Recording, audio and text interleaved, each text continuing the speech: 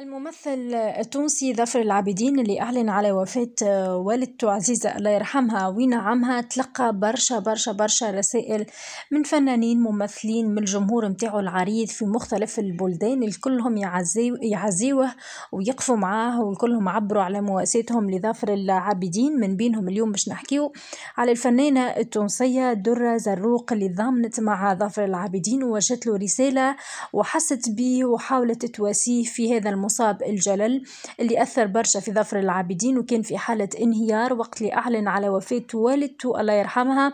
وكان حكي عليها برشا بالباهي وحكي عليها بتأثر كبير برشا. درة زروق هبطت صورة ظفر العابدين ووالدته. عزيزة الله يرحمها وينعمها. إحنا بيدنا نترحموا عليها برشا. وقالت له الله يرحم والدتك ويجعل مثواها الجنة.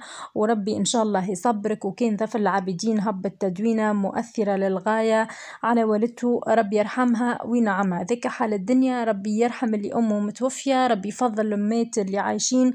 وما تنسيوش تعملوا اشتراك في القناة وتفعلوا الجرس باش يوصلكم الفيديو القادم.